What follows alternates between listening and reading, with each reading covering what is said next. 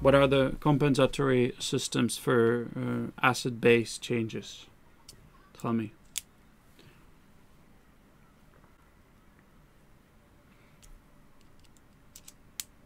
Lungs. Okay, so very good. Lungs and kidneys are the main ones. Lungs are able to um, compensate very fast, but not fully. Okay, and they're compensating what ABB disorders? Metabolic disorders. Okay, in contrast to that, uh, kidneys are compensating respiratory disorders but not only, watch out, they're able to compensate other metabolic disorders as well. Okay, that's the difference. And also, uh, kidneys have two speeds. One is very slow at the beginning. So basically, if someone has a disorder, the pH is going to be way out in the four, uh, first four, three days. But later on, uh, they get boosted up, rebuilt, and they, they can fully compensate the the pH. So basically, out of this, in in terms of uh, comp compensation and how the pH is right now, you can tell if the change was uh, happened like acutely or chronically because you check the disorder. It's going to be, for example, it's going to be respiratory acidosis, and if the if the pH is going to be way out, you can uh, suppose that it happened in the first three days. But if the uh, final pH is going to be almost normalized, you know, it's chronic and the kidneys are able now to compensate it. Okay? Yep.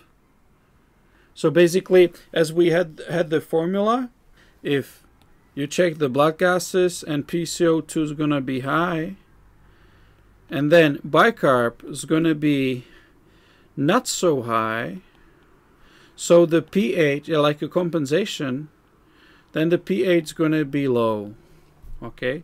And you would assume this happened uh, uh, like acutely. But if PCO2 is going to be high again because of uh, COPD or whatever okay? So COPD then and if the bicarb is going to be really higher that means the kidneys are already trying to compensate this this acid with this base and the pH won't be so high, or it could be even normal, but that it won't be as changed. It won't be so way from normal. You can say it's a chronic disorder. Okay, so it's been there for a while, and kidneys had time to compensate that. Of course, the presumption is that the kidneys have to be fine, working fine. Okay, but and this is what you're gonna do in seminars, but but that you get the the idea. Okay, so and uh, one more important comment on respiratory acidosis, and I'm stressing this all the time. So basically, if you're going to have someone with COPD, COPD means I have an obstruction. What do you count under COPD? Tell me, what diseases? It's hard for you to know maybe now, but everyone's going to ask you this, especially during internal medicine exams and everything. So, what do you count under COPD?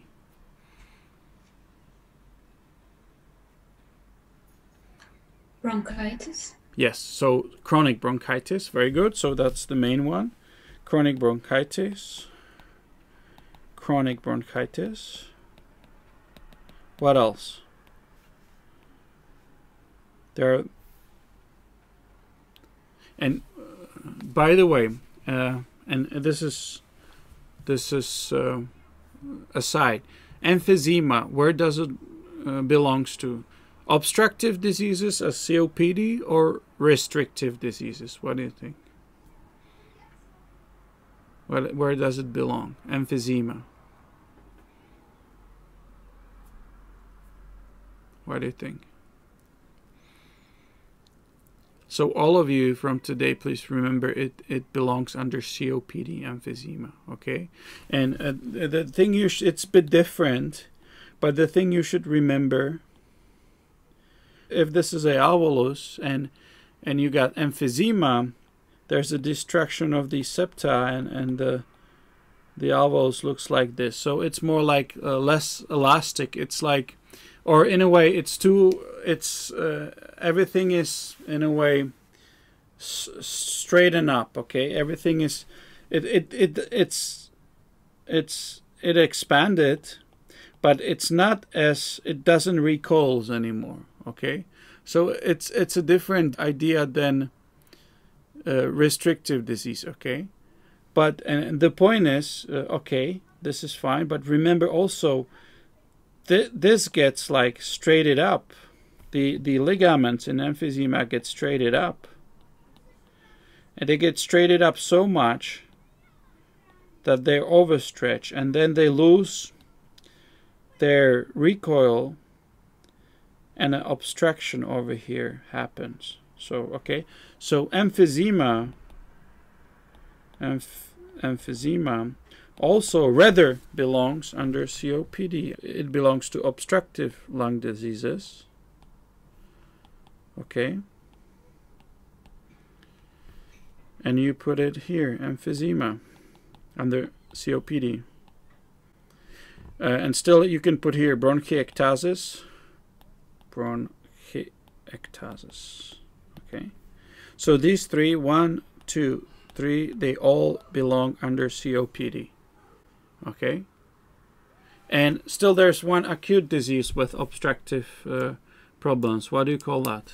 What, what do you call the one? It's not chronic, it's acute. Why, and why do we don't put it under chronic, under COPD? You put it extra. What is the disease? What do you call that? Many of you have it. What is that? What? Asthma. Very good. Asthma. Asthma. And what's the difference between these two? It's acute, but there's a big difference in terms of, uh, in a way, reactiveness to uh, to drugs and whatever.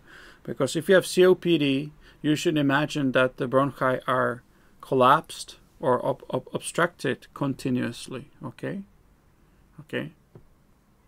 But in asthma, the people have obstruction, or at least at the in the beginning, or at, when, when the disease starts, and in the first years, they have obstruction only during attacks. But if, if they are on drugs and whatever and fully compensated, there there there is no obstruction. So basically, they their their their spirometry uh, evaluation is can be fully normal. Okay, so that's a big difference. That's why you put it aside although it's an obstructive problem as well. In meantime, between attacks and uh, and uh, and if, if, they're fully compensated, they have no problems at all. Okay, in contrast to COPD, which is it stays there, and there's there's full obstruction. But why I'm talking about COPD is pH.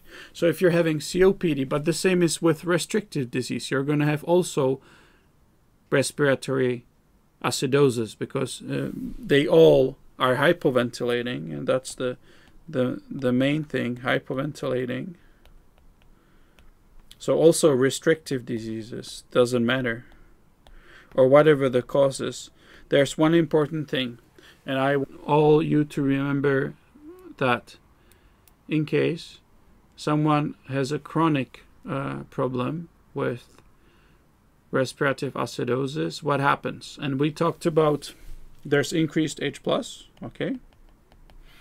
And what happens? Well, as we talked about cells, they buffer the H plus as well. So H plus gets you are acidic for a long time. And this this basically accounts for for any any any acidosis, but the kidneys have to be fine, okay? They have to work. So if if you have any kind of acidosis which is not generated in, in kidneys, what happens is the K plus uh, is pushed out of the cells. Okay?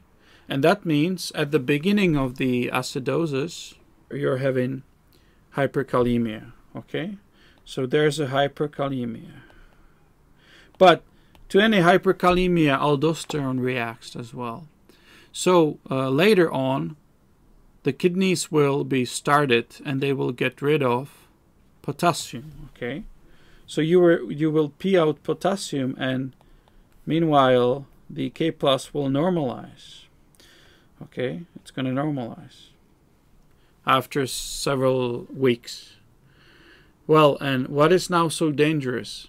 Very dangerous is if someone comes to you with a chronic respiratory acidosis, for example, so with COPD, and you check their blood and you will see they're acidic, their pH is low.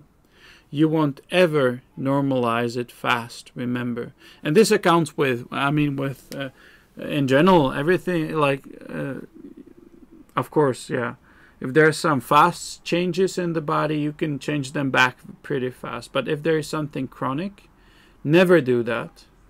Because what could you do in this scenario? What could happen? So, I am chronically acidic. I had a temporal uh, hyperkalemia, but I peed out the potassium, so now I have normal kalemia. And now someone's going to correct my acidosis very fast, what will happen? Well, the thing which will happen is if you normalize this acidosis or acidemia,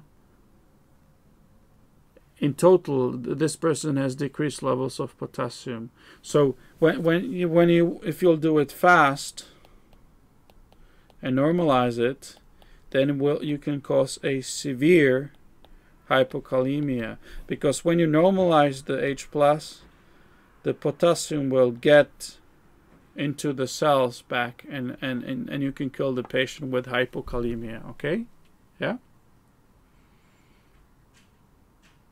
So remember this never normalize uh, any changes of pH. If they're chronic really do it slowly because you can you can kill them with uh, ion shifts of whatever ions but you are afraid mainly of potassium.